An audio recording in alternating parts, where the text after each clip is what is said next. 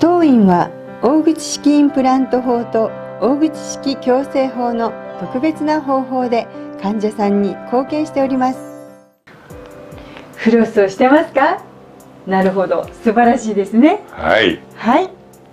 しかしデンタルフロスが歯からプラークを効果的に除去するためには正しいやり方を確かめておく必要がありますよ。はい。手順についていってくださいステップ1、十分なフロスを使おう。はい。18インチぐらいのところで切ってください。はい。このようですね。18でいうと30センチぐらいですね。これぐらいです。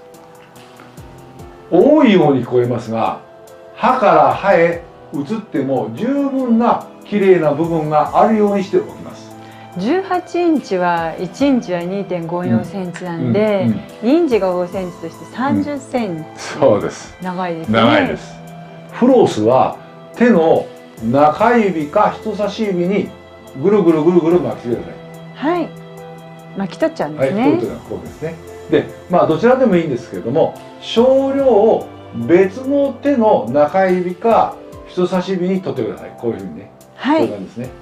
こっちは少ししか取ってないですね。ステップ2歯の間を滑らせるはいそうです。優しくジグザグ運動で歯の間を滑らせてくださはいい。で、フロスをパチンとかポンと鳴らさないようにしましょうね。あピチッとか言いますよね、ステップ3、うん。うん。C を作るそうです。C というのははいフロスで包んではい例えばこういうふうに包んで C のこういう形を作ります、はいはいはい。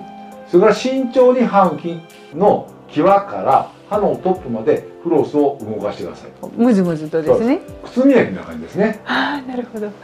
ステップ4、うん。巻いてください。そうです。一つの歯から次の歯へ移るときにはい。巻いてない。新しい部分のフロスを使う。これが清潔に使えますので使ったフロスを巻いてください。衛こういうふうに巻いてすね。そうですそうです。こういうふうに巻いてはい。片方を外しましょはい、うでこっちは巻いて片方を外していきましょう。とはい、同じ長さでいつでも使えますね。